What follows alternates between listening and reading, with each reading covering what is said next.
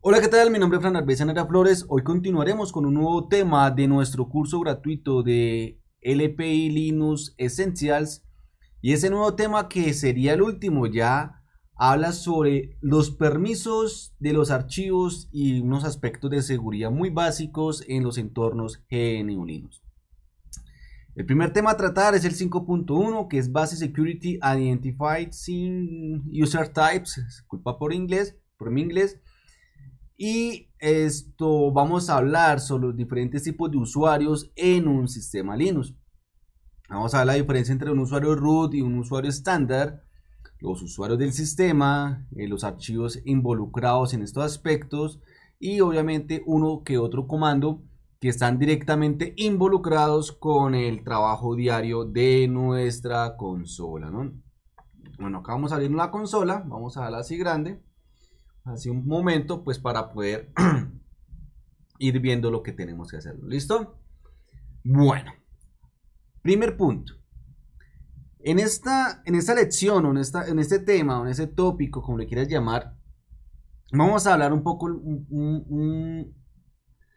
algo muy básico con la, con la terminología sobre las cuentas, los controles de acceso, eh, cómo está constituido el sistema GNU Linux a nivel de permisos, obviamente enfocándonos en una interfaz completamente gráfica.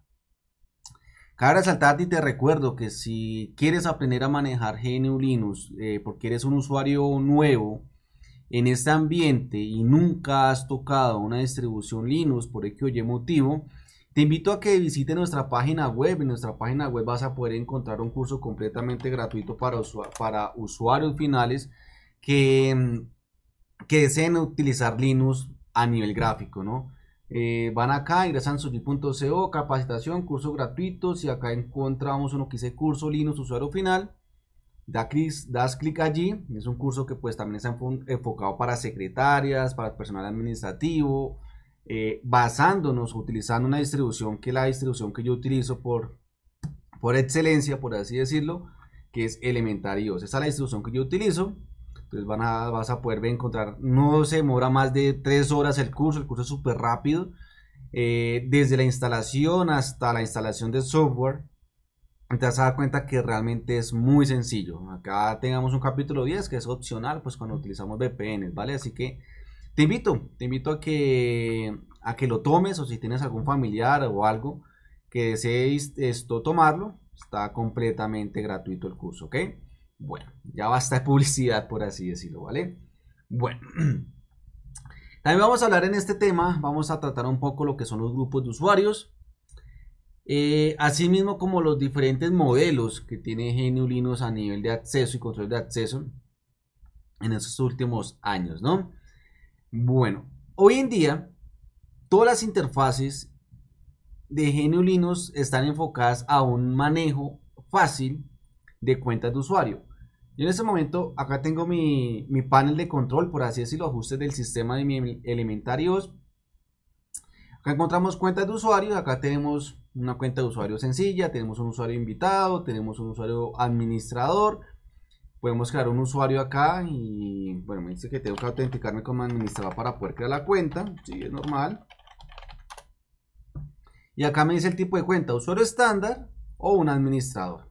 Listo, un administrador es una persona que está dentro del grupo de sudo para poder hacer actividades con sudo. Más adelante pues vamos a ver lo que es este, este tipo de, de, de, de herramienta que es lo que es sudo, ¿no? Vamos a crear uno sencillo, vamos a crear uno que llame soporte, que siempre nosotros, el que yo creo, 1, 2, 3, 4, 5, 6, 7, 8, 9. 1, 2, 3, 4, 5, 6, 7, 8, 9. Aunque me está diciendo que es demasiado simple, vamos a crearla. Listo, acá lo tenemos. Eh, puede acceder automáticamente, el idioma, etc. Mira que acá no se nos complicó en ningún momento eh, crear una cuenta de usuario por una interfaz gráfica. Súper sencillo, nada al otro mundo, o una cuenta, ¿vale? Bueno. Antes de continuar, cabe resaltar que los permisos o los accesos involucran muchos aspectos acá en el mundo de GNU Linux. Involucra tanto la cuenta con la que va a acceder, el método de acceso. Yo le puedo dar acceso a un usuario, ya sea por, por interfaz gráfica o en su defecto que solamente sea por consola. ¿Cierto? Asimismo, los permisos, la estructura a nivel de, de, estructura de privilegios y estructura de directorios que tenga cada uno de nosotros, ¿no? Bueno, listo. Entonces acá ya tenemos una cuenta creada, una cuenta de usuario. En ese momento el usuario, la cuenta se llama soporte. Recuerda que una cuenta puede estar asociada a varios usuarios, no importa. Y vamos a ver dónde se guarda. Normalmente esta información, cada usuario tiene mm, un nombre, ¿cierto? Un ID único dentro del sistema. Muchos dirán, ok, Fran, es el usuario 1. No, yo no soy el usuario 1. Soporte es el usuario 2. No, no es el usuario 2. Por defecto, en distribuciones GNU Linux, para los usuarios arrancan desde el 1000 para arriba, 1001, 1002, 1003, 1004, 1005. Las cuentas de 1000 para abajo son asociadas para servicios, procesos y, bueno, procesos internos de la, del sistema operativo. Eh, algunas distribuciones pueden cambiar, digamos, algunas distribuciones dicen, no, yo quiero que empiecen mis usuarios desde el 1100, o que se creen desde el 1200, o desde, el 2000. Ahí para arriba se empiezan a crear los usuarios y para abajo, pues son usuarios del sistema. ¿Vale? Entonces, normalmente, un usuario, vamos a mirar qué usuario me dio, cat, mira, etc, y todas las, todos los usuarios se guardan dentro de este directorio, passwd. Nos damos cuenta, vamos a, minimizar esto. Vamos a darnos cuenta que el último usuario creado fue el usuario 1001 y hace referencia al usuario soporte. Y a su, a su vez le crearon, se le creó automáticamente este directorio home. Si nos ponemos a buscar a mi usuario Frank Sanabria, mire que Frank Sanabria tiene el usuario un ID que es el número 1000. Si ves, Frank Sanabria Flores y este es mi home. Como te das cuenta, otros usuarios, digamos, este del audio, es un usuario del audio, eso es un usuario, no sé, esto de qué es, como que la impresora, eh, este es de la impresora. Entonces, en Linux casi todos los, los demonios, permisos, se asocian con un usuario para disminuir y reducir la probabilidad de escalamiento de privilegios.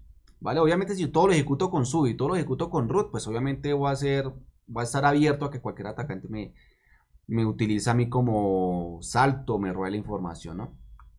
Y vemos que el root siempre tendrá, siempre root tendrá el, ID 0. Siempre root tiene el ID 0. Siempre, siempre, siempre, siempre lo tendrá. Y el grupo, ¿vale? Eh, y los demás, mira, demonios, binarios, sistemas, sin cada uno de estos son usuarios y cada uno cumple sus diferentes funciones. ¿Vale? Este es de Apache, no sé por qué tengo Apache instalado en mi, en mi máquina. Eh, ah, ya sé por qué.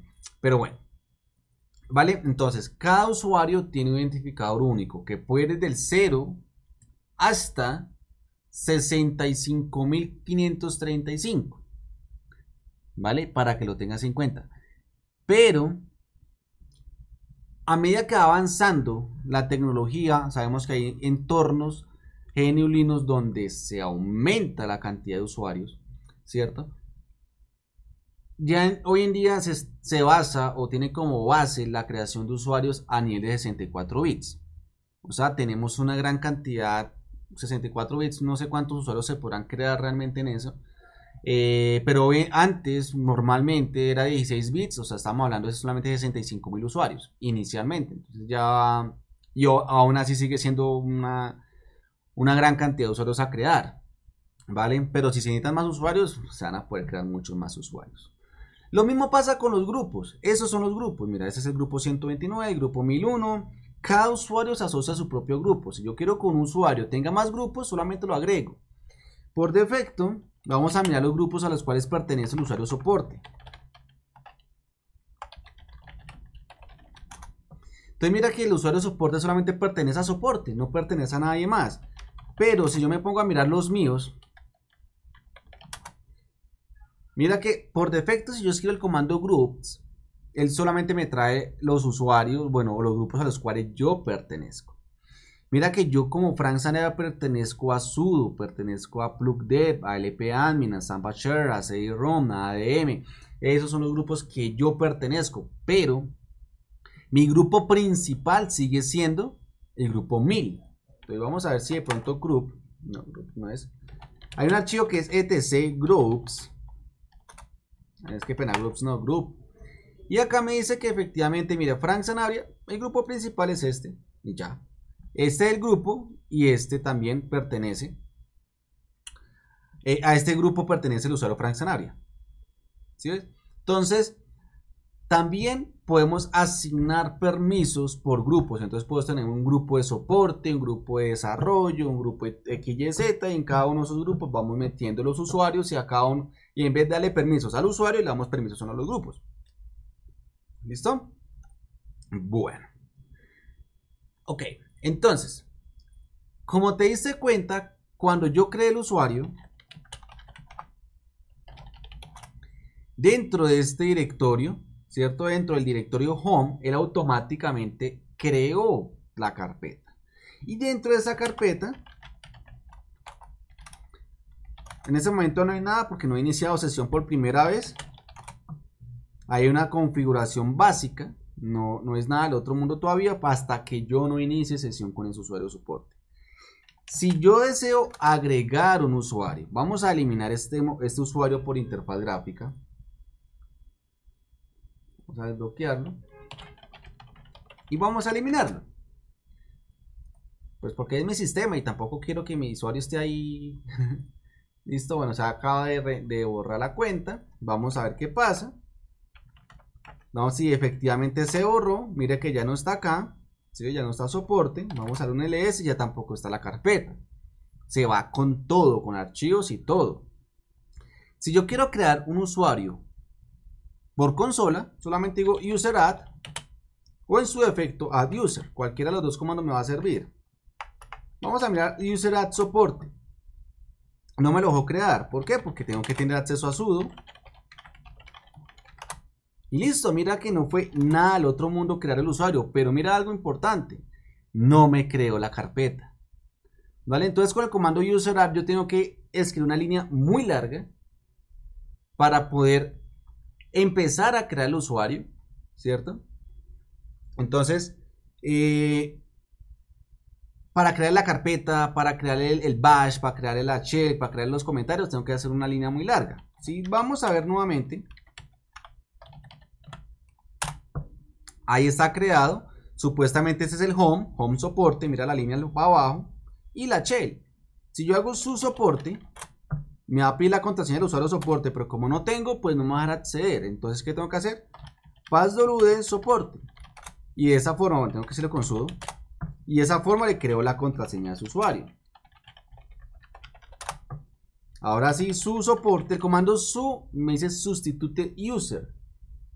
Eh, sustitute user, vamos a ver porque de pronto me confundo con sudo y... Ah, sí. Change user ID or become a super user, o sea, cambie esto al usuario super usuario, o sea, a root o cambie el usuario, ¿no?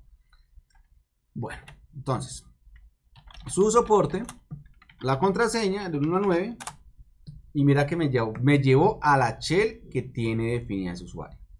Si le hago cd, mira que me dice no se puede ir al, al home del usuario soporte. ¿Por qué? Porque no tengo una cuenta creada, o sea, no tengo la carpeta. Vamos a user del, vamos a borrar el usuario soporte. Nuevamente me toca con sudo. Ahora vamos a volver a validar. Ya no está. Vamos ahora a crear nuevamente. La vez pasada utilizamos cuál? User add, ¿no? Vamos a ver user add, efectivamente. Ahora vamos a cambiarlo por el add user. Add user es un comando que es un alias, entre comillas un alias, de UserAd. Solamente que acá me pregunta, mire, se crea el home, se crea todo de una vez, se copian, etcétera. Y me dice, ahí la contraseña. Como te diste cuenta, el otro no me pidieron contraseña. Este es más interactivo, nombre completo, soporte. Otras cosas, digamos que sí, enter. Vamos a ver que ya está el directorio. Vamos a ver que efectivamente es el usuario soporte.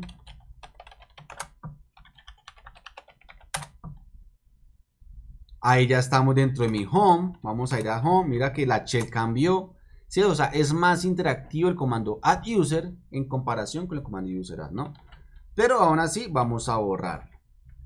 Pero esta vez vamos a ver algo. Mira que la carpeta soporte sigue allí. Si ves, sudo user del soporte me mantiene la carpeta allí. Ahora, vamos a dar sudo add user, porque ahí me tocaría eliminarla de forma manual. Eh, no, vamos a utilizar user add directamente, user add soporte, y ahora sudo del user soporte. ¿Listo? Uy, pero me mantuvo la carpeta. Bueno, no lo forcé. Vamos a ver un momentico. User del. Force. Me faltó mandar la F, ¿cierto? Y la R. Entonces, nuevamente, user add.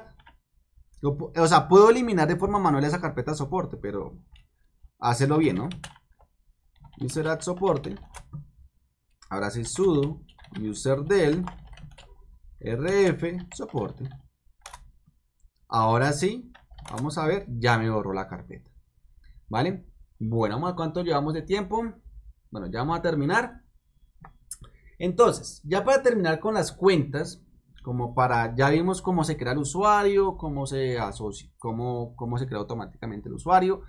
Eh, también vimos un poco las cuentas, de esas cuentas que estábamos acá. Cabe resaltar que las cuentas del sistema normalmente van del 1000 para abajo. ¿Qué, ¿Qué pasa?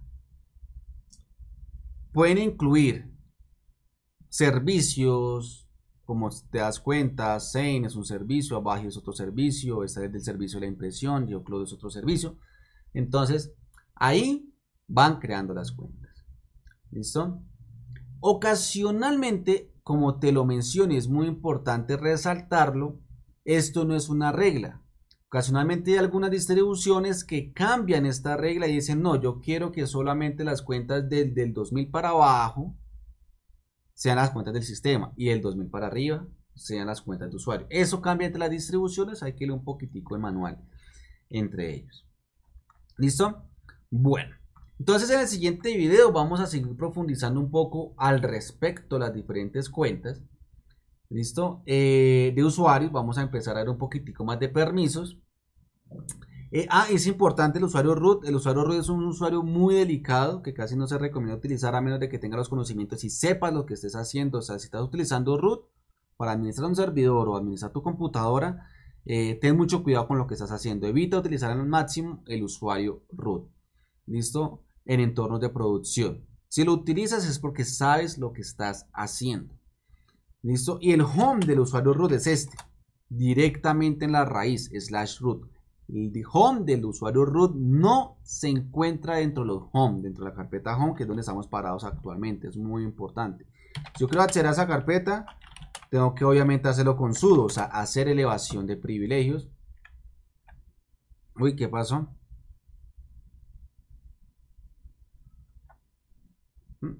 Sudo, me dice sudo cd slash root, tan raro, me dice que sudo cd orden no encontrada, algo hice. No sé, me está funcionando. Bueno, entonces, ¿qué hago yo? El hacer elevación a root y ya. Ahora sí tengo acceso al directorio de root. ¿Vale? Bueno, entonces es muy importante tener eso en cuenta. No utilizar root si no tienes conocimiento, no sabes lo que estás haciendo. No es posible utilizar sudo. Cuando es un servidor coadministrado o administrado por varias personas, ahí sí pues te recomiendo que vayamos a, a, a, que a a utilizar herramientas adicionales como sudo para, para hacer diferenciación de privilegios, ¿no? Bueno, en el siguiente video vamos a empezar a, continuar viendo un poco el tema de los usuarios, un poco el tema de los IDs, un poco el tema de, de, de quién está logueado, cómo está logueado, etc. Así que no siendo más, me despido, nos vemos en el siguiente video, hasta pronto.